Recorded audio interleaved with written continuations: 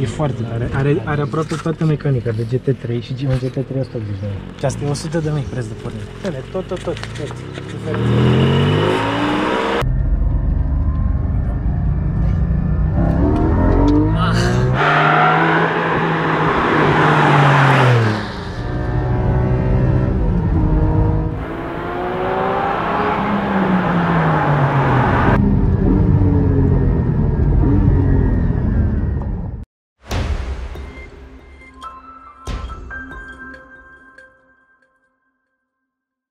Este, după cum vă spuneam, o mașină foarte rară, sunt doar două exemplare de Cayman GT4 2020 în România, tocmai de aceea mi-e și teamă să pun mâna pe ea eu cred că proprietarul doarme efectiv noaptea în garaj cu ea, deoarece este absolut senzațională și nu ai cum să nu mor de dragul ei. Are un motor uh, natural aspirat de 4 litri, ce produce 420 de cai putere, iar 0-100 atinge în doar 4,2 secunde.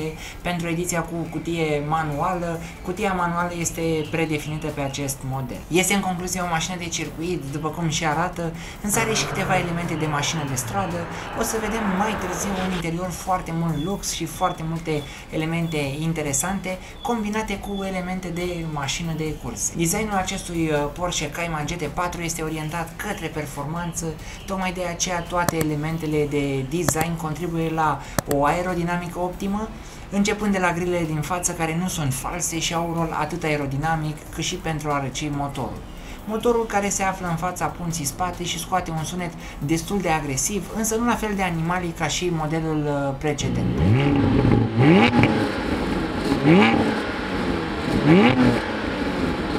Acest splitter contribuie și el la aerodinamica mașinii, iar în momentul în care vei dori să umbli la suspensie, toate celelalte elemente de aerodinamică, splitter, bara antiruliu, eleron trebuie ajustate, iar ca să fie un feeling autentic, totul se face mecanic, trebuie să te bași cu cheia sub mașină, însă trebuie avută mare grijă pentru a obține performanță maximă pe circuit, totul trebuie să fie în perfectă ordine. Alte elemente de design însă cu o funcționalitate foarte mare pentru motor, avem aceste două intrări pentru admisie aer rece, pentru motor, cât și pentru răcirea acestuia. Imaginați-vă surplusul de căldură în momentul în care mergi pe circuit să te distrezi, trebuie să păstrezi motorul în parametri optimi pentru a da cel mai bun randament. Foarte multe elemente se reglează manual, chiar și acest eleron trebuie să fie ajustat pentru fiecare modificare a suspensiei și după cum v-am mai spus, nu numai eleronul, uh, ci și suspensia, splitterul, bara antiruliu, deoarece la viteze de peste 300 km la oră trebuie să fii atent la orice detaliu. Această culoare Racing Yellow este fantastică, este culoarea în care a fost lansat uh, Cayman GT4. Nu ai cum să nu te îndrăgostești când vezi această mașină pe stradă, mai ales uh, din spate, te va lăsa cu gura căscată, însă dezavantajul este că de la viteză și de la culoare se murdărește foarte repede de musculițe și alte insecte pe capotă și îți pare puțin rău de ea. Mai jos, difuzorul contribuie și la aerodinamica mașinii, însă ceea ce nu-mi place este faptul că țevile de eșapament uh, sunt fake, iar din spate se vede acest lucru. Pentru asta merită o mică penalizare la design, un 0,001 cu minus. Ca spații de depozitare, pe care am văzut că mulți puriști le consideră inutile, avem portbagaje acest loc destul de încăpător pentru un rucsac, fiindcă vom folosi această mașină și pe stradă, nu doar pe circuit, însă poate vrei să te duci cu ea să faci piața și să ai și tu unde să pui roșii, castraveți, o legătură de ceapă, orice este suficient loc uh, și mie mi se pare destul de util. Aici avem posibilitatea să verificăm ulei și să completăm dacă este cazul uh, și mie îmi place foarte mult uh, cum sunt integrate în acest design. Ca și spații de depozitare avem uh, aici în față ceva mai mult loc decât uh, în spate, aici chiar în cap două trollere, așa că ai motivația perfectă să faci o escapadă la munte, să te dai pe serpentine și ce poate da mai bine decât un Cayman GT4 în parcare la teleferic uh, în Poiană pentru a fi admirat de toți turiștii. Uh, un secret, uh, poate ați văzut uh, multe Uh, mașini care au aici capota în față uh, strâmbă. Este din cauza faptului că are un mecanism uh, mai interesant de închidere. Prima oară trebuie să facă un click, iar apoi trebuie să o apeși fo- foarte ușor să prindă. Și nici eu nu știu să, nu știu să fac așa că să nu mai de-aia apar mașini cu capota strâmbă în față, deoarece e foarte greu să, să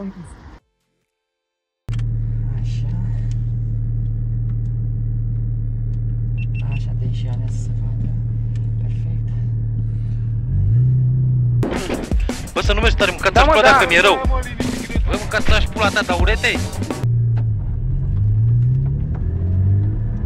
E pornit acum? Da.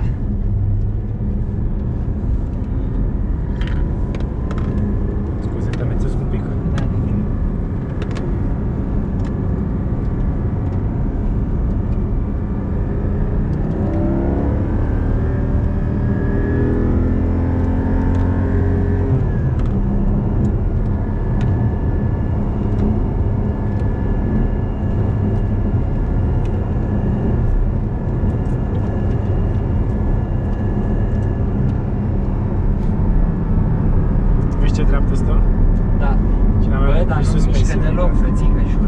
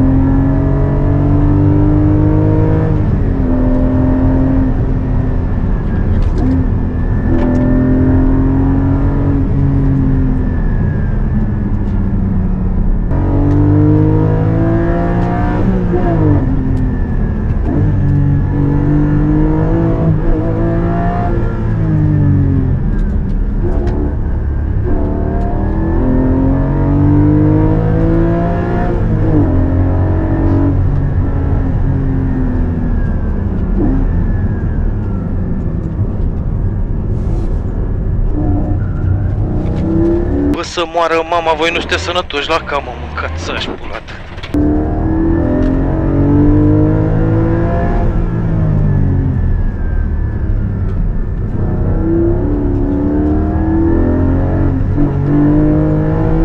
Băi, băiete, bă, fii atent că mi-e rău să moară mama!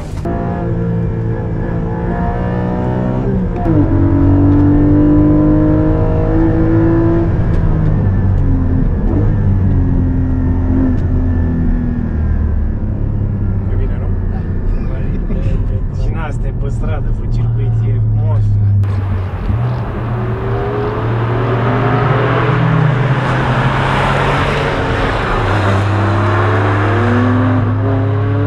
Ți-a fost teamă? Nu, nu. Ai simțit că suntem la limită? Nu. Mai cam 70-75%. Dar nu e asfalt. Știi cum e pe, ce- când mă dau padâncata, doamne, e incredibil. Da. Foarte, e monstru. Te lipești de ea, da? Cu cât mergi mai tare, cu atât se așează mai bine. Aici e chestia. Asta e șmecheria, Da, cu aerodinamica. Mamă, și ce simți? Că în virajele mici, da?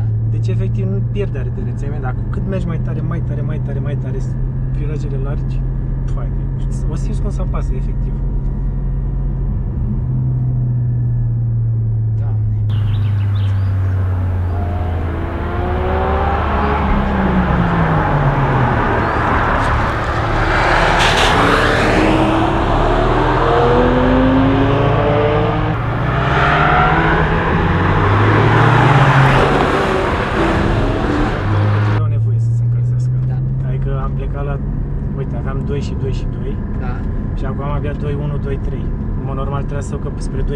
сейчас здесь на Майской дыне.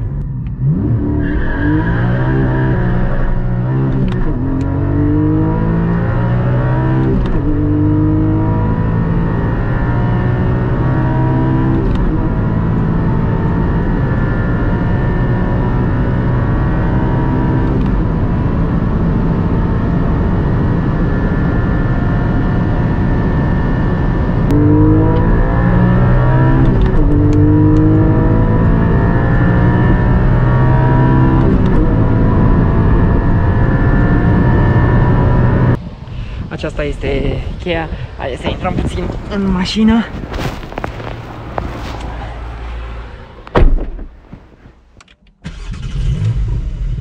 Așa se aude când, când pornești uh, mașina.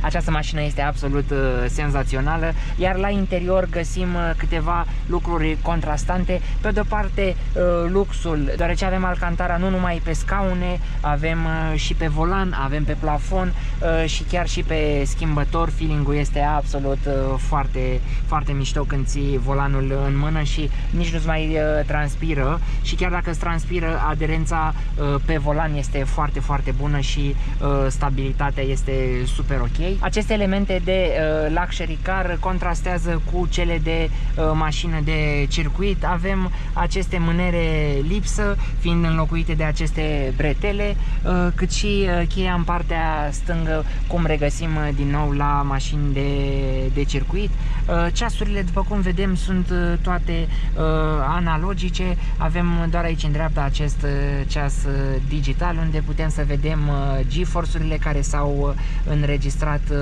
uh, Vedem uh, 1.35 uh, maximum care a fost pe circuit, uh, care este destul de uh, însemnat. Crono, avem uh, presiunea în roți uh, și avem și uh, trip uh, plus uh, audio și câteva uh, informații din nou uh, interesante despre ulei, baterie și tot ce mai avem nevoie pentru a ne dea pe, pe circuit. Uh, Este, este absolut uh, senzațională, iar scaunele te, te cambrează foarte, foarte bine, Uh, stai efectiv și te conectezi una cu mașina, Uh, mai ales și datorită acestor uh, uh, viteze care sunt uh, foarte scurte și intră automat uh, foarte rapid. Uh, Aici pe, pe consola principală avem uh, autoblip pentru a face rev matching, avem uh, suspensie unde putem să umblăm uh, uh, la ea, avem uh, evacuarea sport, ați văzut, sper că s-a, s-a auzit cum am uh, apăsat pe ea, s-a um, s-a schimbat și asta este uh, evacuarea sport și avem și start-stop uh, automat. Este fantastică, nu dotările sunt ceea ce ne interesează foarte mult pe această mașină, uh, ci cum se conduce și cum ați văzut în point of view este absolut uh, genială. Uh, Sper că v-a plăcut acest uh, filmuleț. Uh, Nu uitați să ne scrieți în comentarii dacă vă place această mașină, dacă vreți mai multe filmulețe cu ea uh, și poate îl convingem pe proprietar să, să-și facă și el un uh, canal de YouTube deoarece mai are câteva mașini, iar povestea lui este foarte interesantă, așa că cu cât mai multe comentarii vom avea, uh, cu atât poate îl convingem să ni le arate pe toate, așa că până data viitoare țineți aproape cu Carzon